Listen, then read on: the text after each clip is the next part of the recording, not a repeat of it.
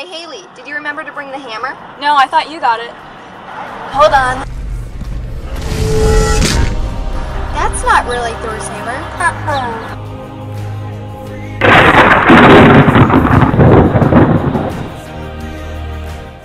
Good morning, True Life youth and families. I hope that this finds you doing well in these times. I miss seeing you. Um, should have been meeting tomorrow night and having dinner and um, sharing together, but I guess we're going to have to do it this way for now. I do encourage you to stay in touch with me. You have my cell, you have my email. Love to hear from you. Um, I want to share with you, youth and uh, parents, guardians, just a few thoughts this morning. And um, first comes out of uh, 1 Timothy uh, chapter 4, verse 12. And it says, Let no one despise you for your youth but set the believers an example in speech, in conduct, in love, in faith, and in purity. And this is something that Paul is writing to Timothy, a young protege of his that he left in charge of people much older than him. But God doesn't look at our age, uh, our physical age. Uh, now, for a Christian that's walked with God for decades, he does tell the young to honor that, that we have a lot to offer you of wisdom. But there's many young people that are far more mature in Christ, far more ready to lead and have wisdom than people with a lot more years on them physically. And people that are young, teens, 20s, who have studied God's Word, taken it seriously, devoured it, um, lived in it, that have a lot to offer. You have a fire, you have a, uh, a passion, you can grab this moment. And you have right now, with no bus drive times and these different things, you have an amazing opportunity to rise as a generation, as young warriors for God. Uh, families to rise together and strengthen yourself against the attacks of the enemy, uh, to grow strong together in Christ, and to be able to be His light and body and word out into this community that needs it so badly, this nation that needs it so badly. Um, I encourage you to not let your age stop you, to not think, oh, I'm just a kid, I'm just, um, you know, whatever, I'm just stuck at home.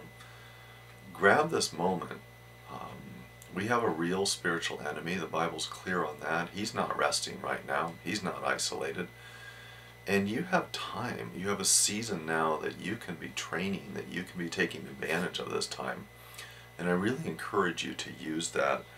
I was struck by a thought um, thinking about David and when he faced Goliath. Uh, he went to the Saul, the king, and told him, you know, I'll take on this this um, fight with this Philistine, with Goliath. And Saul said, You're but a youth, and he has been a man of war from his youth. In 1 Samuel 17, starting with verse 34, David says back to Saul, Your servant, meaning David, used to keep sheep for his father, and when there came a lion or a bear and took a lamb from the flock, I went after him and struck him and delivered it out of his mouth. And if he arose against me, I caught him by his beard and struck him and killed him. Your servant has struck down both lions and bears, and this uncircumcised Philistine shall be like one of them, for he has defied the armies of the living God. So David is, he goes and tells this king, and he said, I've taken care of my dad's sheep. And this was a time of isolation. It, earlier in the story, when the prophet Samuel came to David's home to anoint the next king of Israel, all the brothers were there with dad and got to enjoy this moment. David was off alone tending the dad's sheep. And yet it was in that time that he experienced the faithfulness of God. David defended the sheep himself. But listen to what he then says. The Lord who delivered me from the paw of the lion and from the paw of the bear will deliver me from the hand of this Philistine. He did the work, but he gave all credit to God for the deliverance and God for the protection.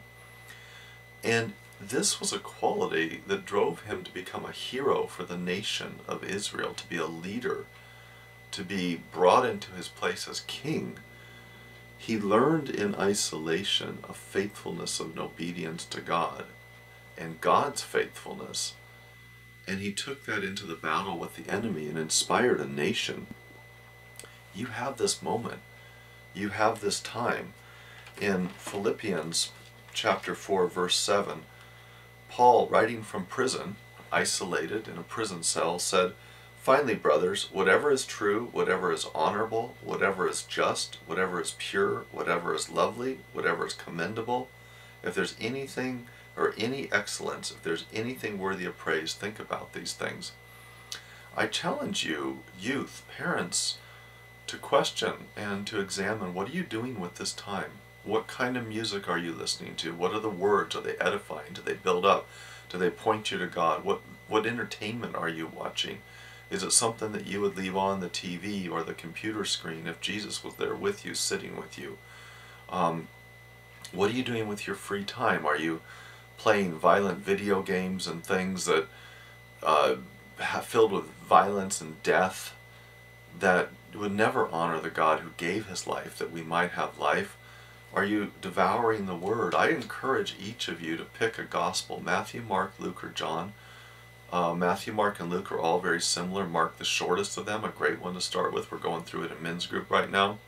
John, another amazing one. And challenge yourself to read through the whole gospel in the next week.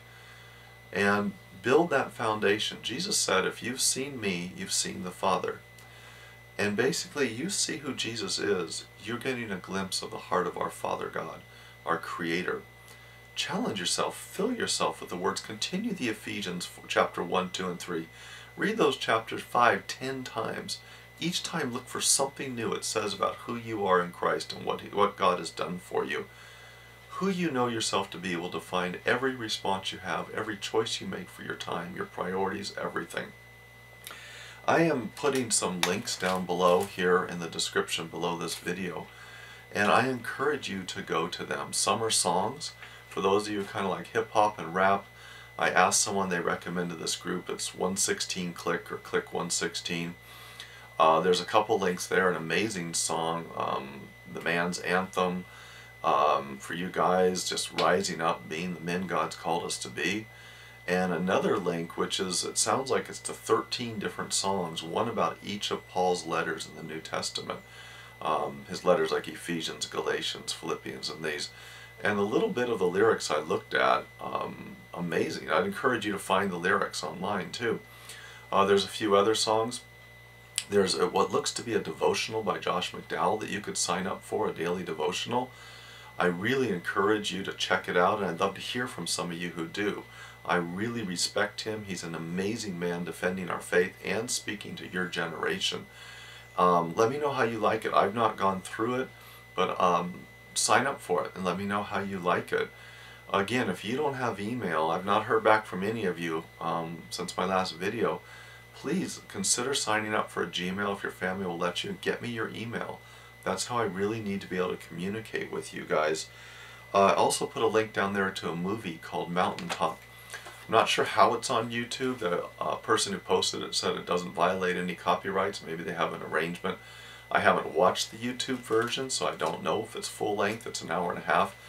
It's a, a movie that my family really, really enjoys. It is God-filled. No, it's not the adventures of a Marvel movie, but it is incredible. Um, and I think you as a family would enjoy watching it together. Send me some pictures, what you're doing. Love to hear from you. Shoot me some text. I miss you guys. Let me know if you want to talk. Give me a call. Text me. Shoot me an email. I love you guys. God bless you. I'll stay in touch this way. But uh, again, love to hear from you. Take care. Bye-bye.